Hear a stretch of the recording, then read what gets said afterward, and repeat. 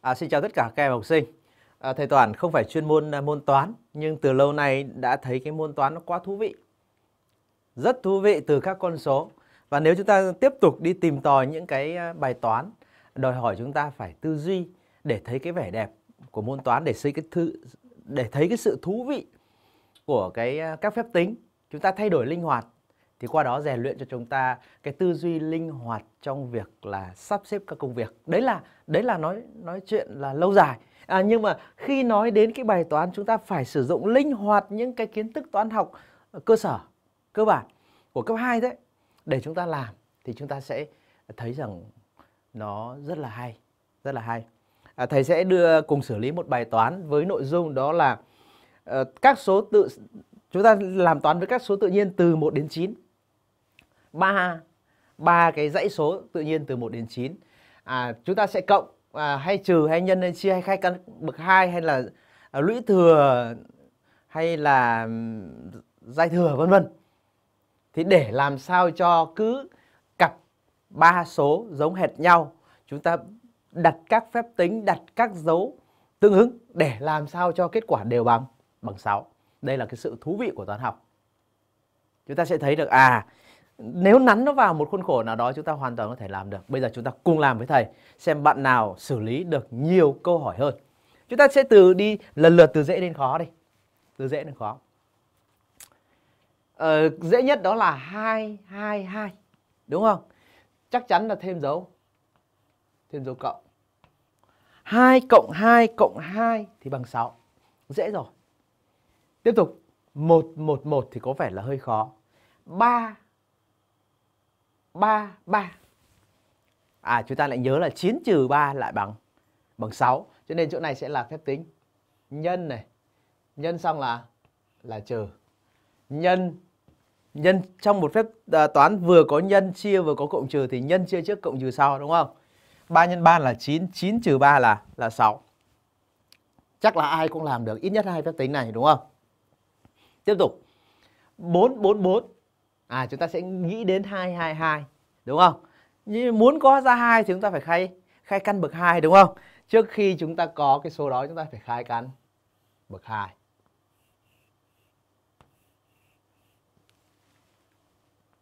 Cộng khai căn trước. 4 4 4 căn 2 2 2 bằng 6. Ok. Thế thì 5 và 6 5 6 7 thì sao? 5 cộng 1 sẽ bằng 6. Tại sao lại nghĩ 5 cộng 1 bằng 6? Bởi vì là hai số giống nhau chia cho nhau thì nó bằng 1. Đúng không? À, chúng ta có thể à, đặt dấu chia ở đằng trước hoặc đằng sau không ảnh hưởng gì đến kết quả cả. Bởi vì luôn luôn thực hiện phép tính là nhân chia trước và cộng trừ sau đúng không? À, cộng đây đi. Thì 5 chia 5. Hoặc là chia trước 5 chia 5 cộng với 5. Thì vẫn bằng 6 đúng không? À, tương tự như thế Thế thì 666 thì dễ rồi. Ta làm sao đó triệt tiêu hai số 6 đi. Thì chắc chắn chỉ là phép tính trừ. Đúng không? Cộng xong. Có một trừ một cộng thì nó sẽ ra, ra 6. Anh này không hay lắm, không đẹp lắm. Như thế là 1, 2, 3, 4, 5. 5 phép tính chúng ta đã đặt một cách dễ dàng. Thế thì 7 thì sao? 7 trừ 1 lại bằng 6. 7 chia 7 bằng 1 đúng không? Ta vẫn sử dụng phép chia và phép trừ. 7 chia 7. Nhớ nha, 7 chia 7 bằng 1. Sau đó 7 trừ 1 bằng bằng 6. Chỗ này có thể để nguyên. Còn bạn nào cẩn thận hơn thì để dấu ngoặc.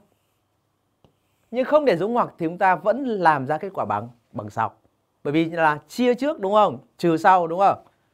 Chúng ta để cẩn thận thì cứ để ngoặc cho nó chắc. 7 chia 7 bằng 1. 7 trừ 1 bằng 6. Thế thì 8 9 1 thì sao? Chúng ta sẽ à, xử lý biểu thức số 9 3 3 3 bằng 6. Thì chúng ta lại có một cái sự thú vị đó là gì? Khai căn bậc 2 của 9 bằng 3. Cho nên chúng ta làm tương tự như trường hợp này đúng không? Khai căn trước. Khai căn bậc 2 của 9 thì nó ra số 3, đúng không? Ra số 3 chúng ta áp dụng đúng như trên này. Ta sẽ có chỗ này là à, nhân đúng không? Nhân sau đó trừ. Hoặc là chúng ta sẽ đặt căn bên ngoài 9 nhân 9. Sau đó các căn bậc 2 thì vẫn thế, đúng không nhỉ? Tức là chỗ này chúng ta có thể viết là à, căn bậc 2 của 9 nhân 9 trừ đi căn bậc 2 của của 9 bằng bằng 6. Ok. Thế thì cái câu chuyện 8 này và 1 thì mới đòi hỏi cái sự thông minh. Làm thế nào để bằng 6? Thì chỉ có thể là 8 trừ 2 bằng 6. Đúng không? Làm thế nào để nó ra số 2? À, đấy mới là một câu chuyện. Cho nên là thầy thường giữ giữ số 8. À, thế thì chúng ta sẽ thấy này, khai căn bậc 2 của của 16 thì bằng 4. Khai căn tiếp của 4 thì bằng 2. Cho nên chỗ này chúng ta có thể làm này. À, khai căn bậc 2 của hai này cộng lại với nhau. Đúng không? Sau đó chúng ta trừ đi. Căn bậc 2 của 16 chưa đủ. Đúng không? Chưa đủ. À, chúng ta lại phải khai căn bậc 2 tiếp. Khai căn bậc 2 tiếp, khai căn bậc 2 hai lần. Thì chúng ta có thể hiểu là khai căn bậc bậc 4. À, chỗ này thì phải học căn bậc 4 hoặc hiểu đơn giản là khai căn bậc 2 hai hai lần. Căn bậc 2 của 16 thì bằng 4, khai căn bậc 2 của 4 bằng 2. Đúng chưa? Sau đó là chúng ta khai căn à, từ chúng ta sẽ làm phép tính trừ 8 trừ 2 bằng bằng 6. Chỗ này có thể viết tương đương là gì? Chúng ta có thể viết tương đương là gì? À, 8 trừ đi căn căn hai lần đúng không? Của 8 cộng 8 bằng bằng 6. Đây này. Ảnh cuối cùng. Ai phát hiện ra? À, nếu ngẫm nghĩ thật lâu thì chúng ta sẽ phát hiện ra được. Nhưng rõ ràng là chúng ta cộng sử dụng các phép tính cộng trừ nhân chia rồi là căn bậc 2 thì chúng ta mà còn còn còn nghĩ đến cái toán học đó là lũy thừa.